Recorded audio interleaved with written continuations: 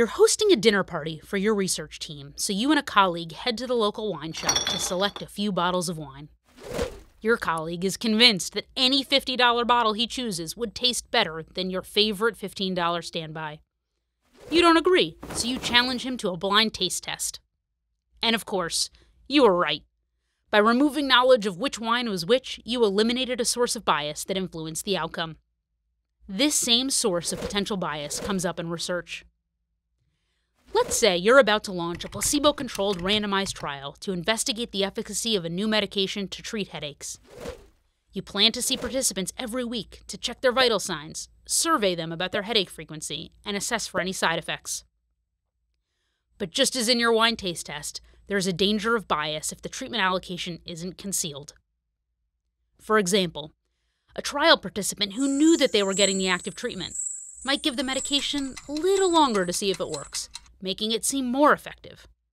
Whereas a frustrated participant still suffering from headaches who knew that they were getting the placebo pills might drop out of the study entirely, again affecting the results. Similarly, if the investigator knew a participant was receiving the active medications, they might be more inclined to encourage adherence or follow symptoms more or less closely, all of which could risk introducing bias and further confound the trial results. So, how can you mitigate the danger of this kind of bias? One critical method is essentially the same one you used in your wine taste test blinding, the process by which people involved in research, the participants, the investigators, or both, are kept unaware of treatment group assignments. A single blind trial is one where the knowledge of treatment assignment is withheld from only one group. In a double blind trial, treatment assignment is concealed from both the participants and the investigators. While, of course, blinding is the ideal in a study, it is easier said than done. For example, what if the secret ingredient of your new headache medicine tastes horrible? Well, the placebo is a sweet sugar pill. People trying to scarf down this medication might just get the sense that they're taking the active treatment and act accordingly. And if they go on to mention the medication's horrible taste to the investigator, then the investigator would know which treatment arm they were into. Without realizing it, participants and researchers might end up acting on the knowledge of who got which medication. The solution in this particular case might be to simply make the placebo taste just as horrible as the active treatment. But other study challenges might not be so easy. What if the trial medication detectably lowers heart rates, or consistently results in bumps in some routinely monitored labs?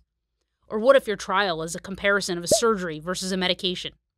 In these cases, treatment assignment might be difficult to conceal from both investigators and participants.